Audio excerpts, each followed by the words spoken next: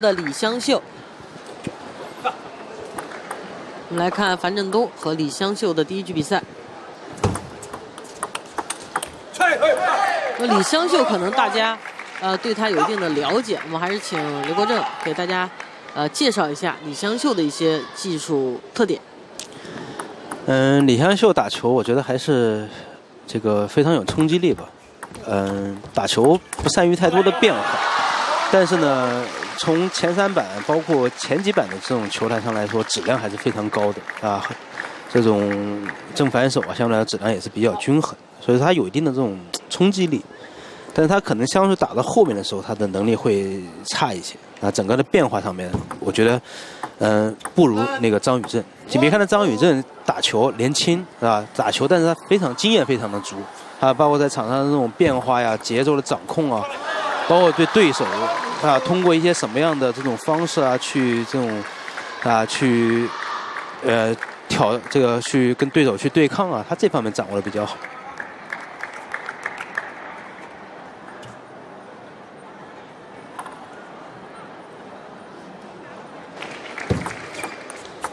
你看他这几板球不错，发完球你一领啊，领完以后你的质量如果不高的情况下，他这两板下去质量是非常高的。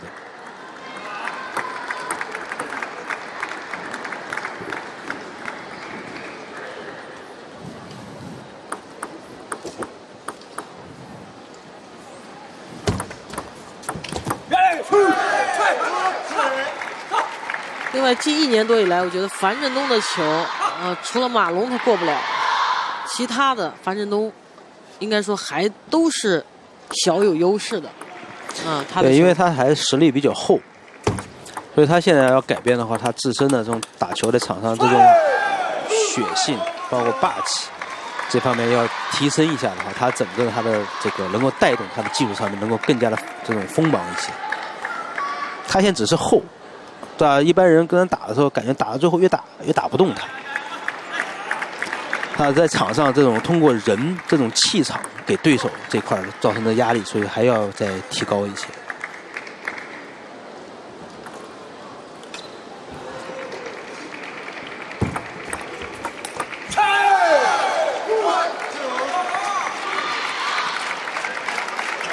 那李湘秀今天上来也是，所以他们今天韩国队啊，这个金德洙教练给他们布置的战术就是可能是放开去拼，全是搏，是吧？特别是在前三板当中，敢于和中国队的队员去拼抢，把他们的这种威胁先打出来，然后给我们中国队给我们的队员先打紧了。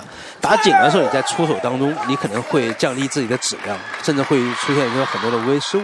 所以他从他的战术上来说，他从这两个上来，反正都是这样，大概这样去布置的。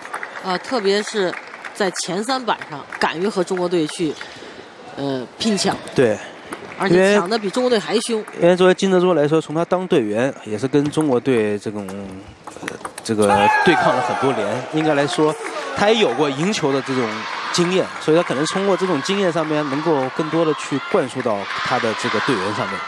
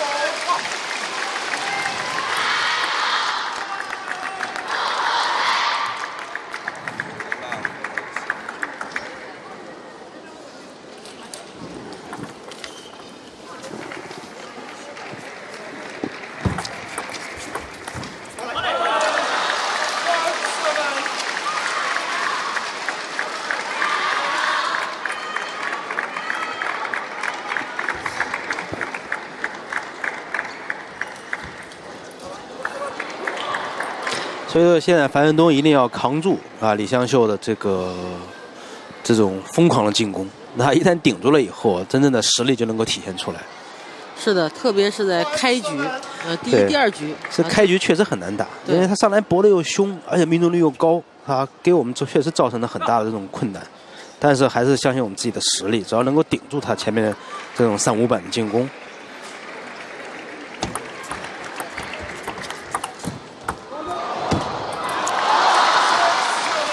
非常重要的一个运气球。那这样的话，这个六比七落后一分，最起码来说我比分缠住了。啊，你再想搏杀，再想发力去主动进攻，你看你也没那么好。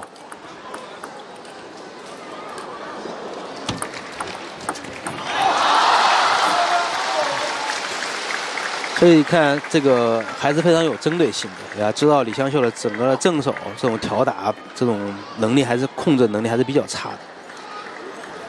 所以你看发球基本上都围绕着李湘秀的正手短，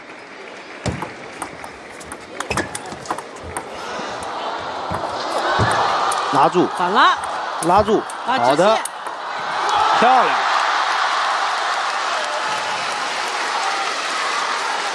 哎，这个就需要是吧？能力，是吧？这种手感，好几个擦网。再一个，我们看到小将樊振东啊，呃，他的这种顽强，是吧？在大比分落后的情况下，不光是一分一分的追，啊，这个球应该说难度很大。但手感非常好的。啊，但是他还是转为主动，转为进攻了。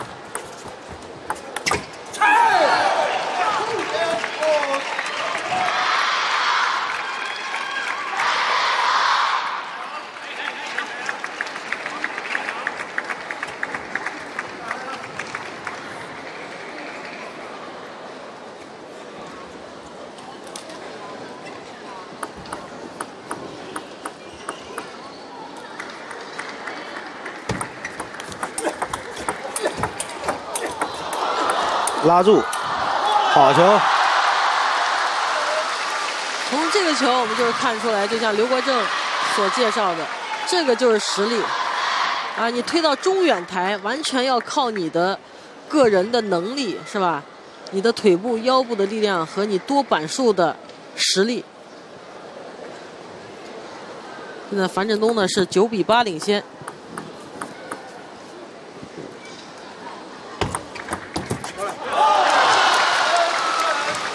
这个李湘秀的正手短球还是有明显的这个明显漏洞，所以他刚才那几个正手的一个挑打，虽然说这个挑上两，我都觉得这个挺假的，是吧？这个可能上来是吧？第一局这个自己也是拼的比较凶，有那么一股勇气。真正想赢的时候，你看他怎么不敢挑了呢？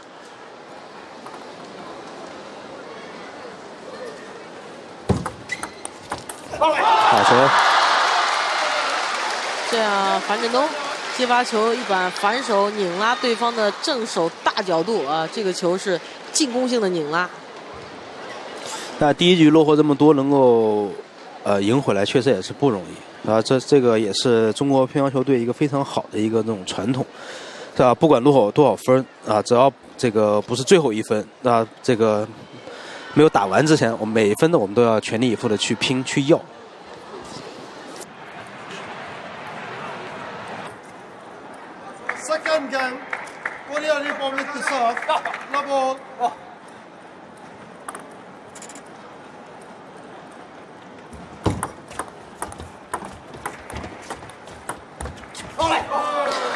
很漂亮，这球，这个台内的这种控制啊，手感啊。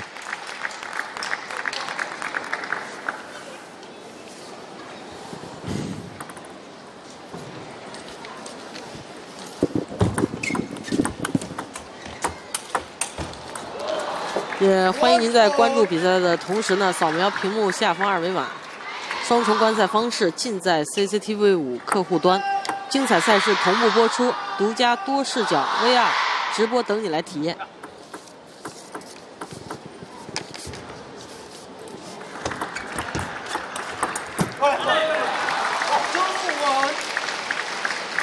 那这一局，我想樊振东呢一定会破坏，就是李湘秀的一些搏杀球、强攻的球，所以在控制。在调动上面会更加积极主动。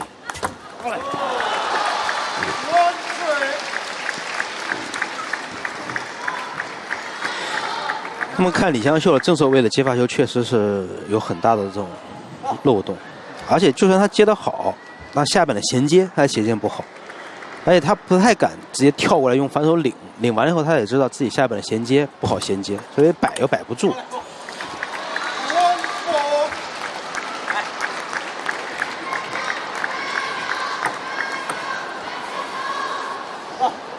我们看到这是主席台上，国际乒联终身名誉主席，呃，乒乓球的老前辈徐英生。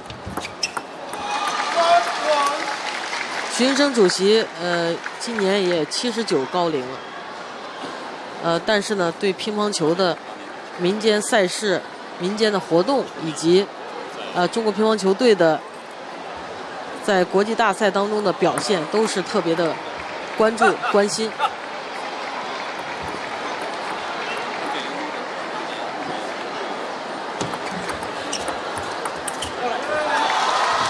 今天啊，无锡市体育中心体育馆，我们看到来了很多的热爱乒乓球的球迷，还有热爱张继科、马龙的这些粉丝。粉丝。呃，今天虽然是这个上班的日子啊，工作日，呃，但是我无锡市体育中心体育馆可以说上座率还是相当高，呃，基本上可以达到三分之二的上座率。这些球迷都是来自全国各地，甚至还有海外的。是，因为啊，现在交通都便利了，你比如京沪高铁，是吧？这个高铁。可能山东过来也就一个小时、一个半小时就能够来到无锡看球。我觉得这些球迷啊，这个这么多的这种关注和喜爱我们的这个运动员，真的是嗯，对我们运动员来说也是一个很大的这种帮助。我觉得无形当中也给我们运动员这种责任感、责任心上面啊，这种加强了很多。啊，最起码上场以后，我不能随便输一分，不能随便输一场，是吧？要不然这个愧对啊，关心我的这么多的这种球迷粉丝。是的，呃，再一个呢，这些今天的粉丝们现场哈，也会非常遗憾，因为因为今天张继科呢不上场，但是从主教练的角度不会考虑到。这个粉丝会有多少人来看这场决赛？呃，主教练就考虑就是主要是怎么赢球？哎，怎么赢球？呃，怎么排兵布阵？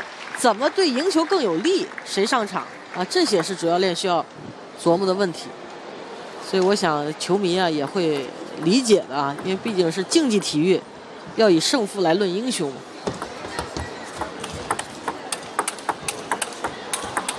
好的，漂亮。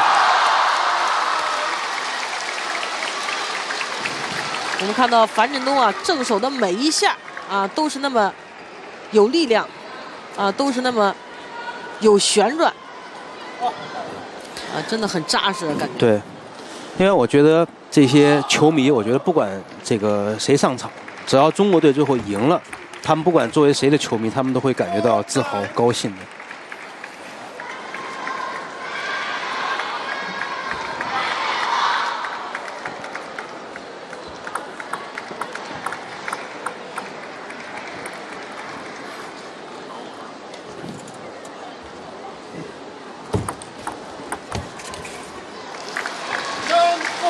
你看，从了除了这个第一局一上来挑俩以后，正手也没挑过了。正手是假的，正短一看就是。就很假的这种。而在这局当中啊，明显就是缺点放大。李湘秀的正而且像他们这样，一旦漏洞被抓住了以后，他所有的技术他都很难去发动出来了，就感觉到被被困在里面了，就困兽之斗，完全在你就是只能在我这里面了。所以我觉得樊振东这个第二局这个还是做的非常好，完全把整个的局面完全的控在自己的手里。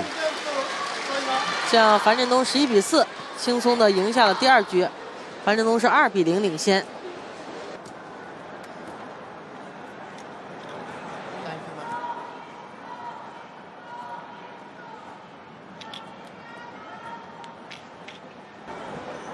Third game, sign up to serve. 了不？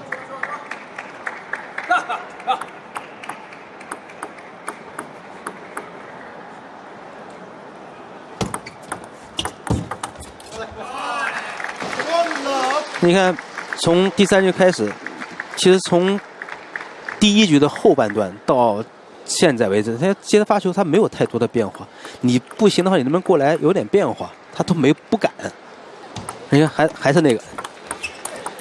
你就算这种球，虽然说他赢了，但是他其实也很被动。如果说樊振东的球拉上的话，他还是很难受。所以我刚才说的，李湘秀打球脑子里面变化还是差一些。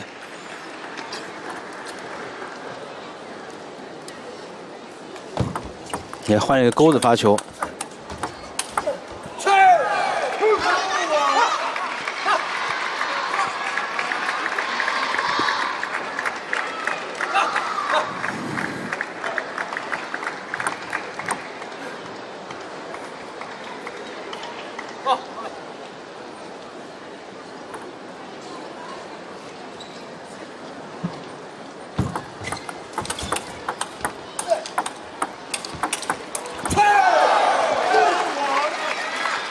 这个是他的特点。嗯，从樊振东的角度就要注意这板球啊，最后一板，你看这个落点上肯定是有问题。光注意旋转，但是没有注意这个落落点。嗯，什么是最好的落点？就是打对方的反方向，这是最好的一个展现。最好的落点是打别人不能使劲的地方。对，或者反方向，对方想侧身，啪给他直线。你看。他到目前现在为止，刚用反手跳过来领了一个，这是他在领先的情况下。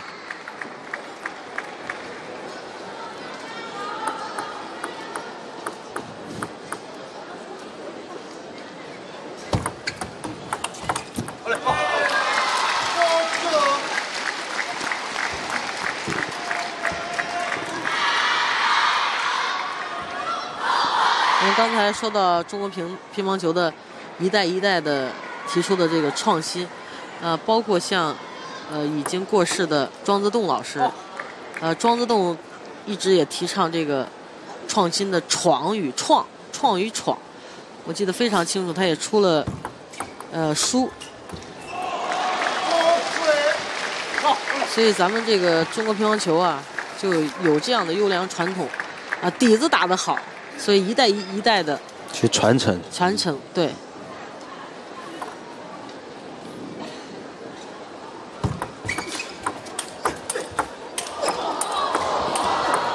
拉住反手很好，你看最好的落点就是让别人别扭的地方。你看这个球虽然说质量不高，但是呢拉到中间，李湘秀反而这种使不上劲儿。你看他们俩同时在拉中远台，但是呢樊振东就比他拉的技巧。对，一直用落点来控制着对方。他就是猛拉、生拉的那种感觉。那樊振东呢是把这个球呢能够借力，呃很轻松的拉一个很好的落点来得分。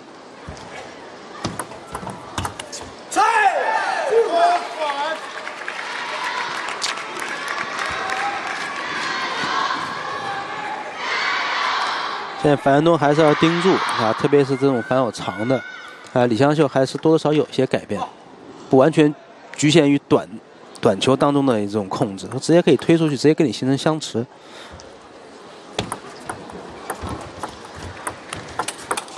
漂亮！这个球就是最好的落点。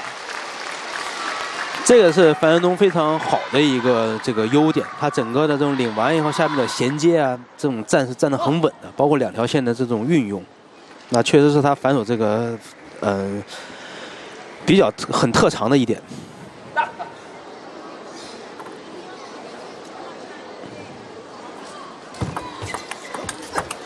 回来，漂亮。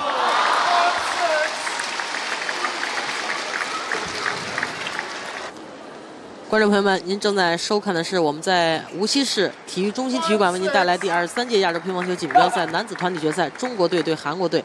这是双方的第二场单打，第一场是由中国选手马龙战胜了韩国选手张宇镇，先拿到了第一分的胜利。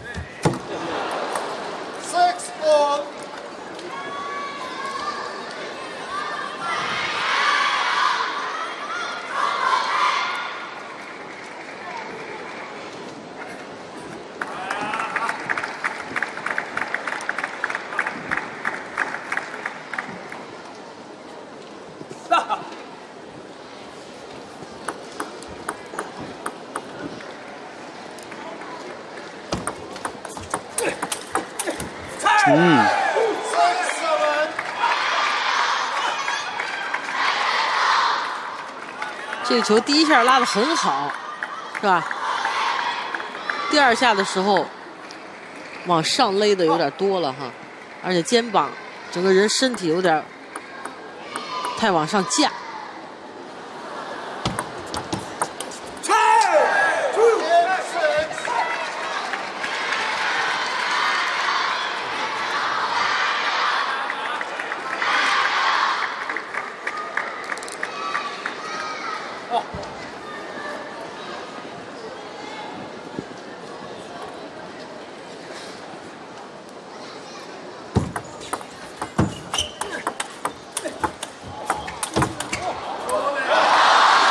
球，好球！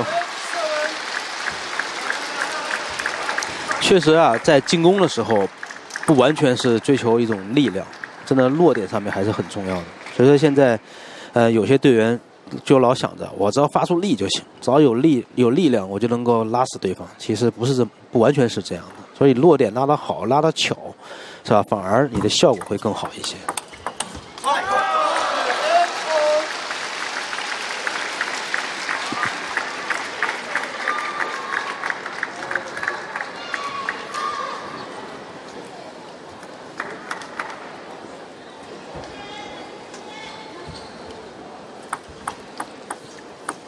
现在第三局，双方打成了八平，樊振东发球。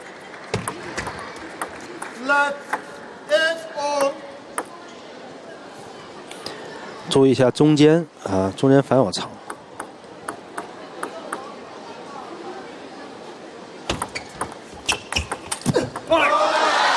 其他真正摆短，樊振东上来不管用正手挑也好，是吧？回短也好，还是用反手领也好，基本上得分是非常多的。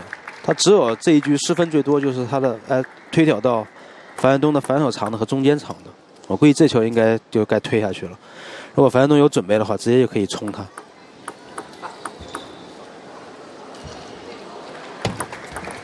你看，太可惜了，这球其实都算准了。对，应该樊振东这球应该拉点手等一下就好了，因为他这球推的轻，他没接上力。如果他能够主动拉点手，哎，稍微的把距离拉开一点发力。是非常漂亮的一个，但是他推过来的这个球啊，推得很轻，他也不敢推啊，他也怕推失误。这个球推的实际上不太转，不太转，不不是那种纯搓过去的下。他前面推的狠，他这个球有点保守，他怕吃发球。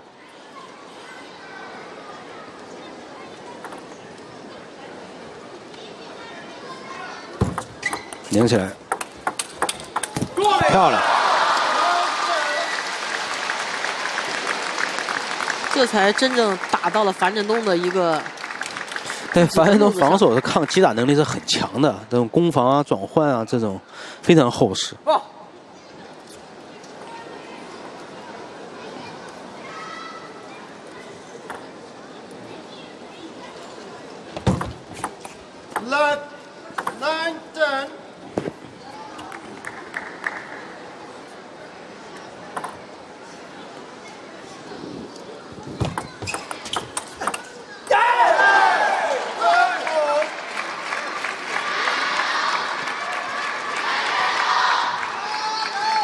这球直接给直线就好了，球有点蹦，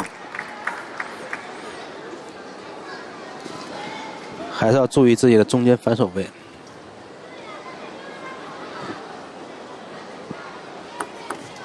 直接发个上去，看中间，跳，擦边。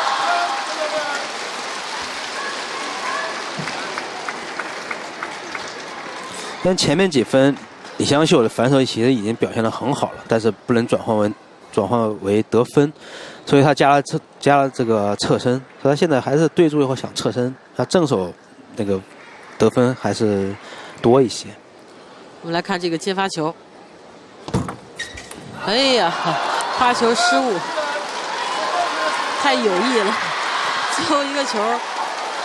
呃，李湘秀的发球直接失误，这样樊振东三比零，呃，赢下了第二盘的单打，呃，这样中国队在亚洲锦标赛男子团体决赛当中呢，大比分二比零领先。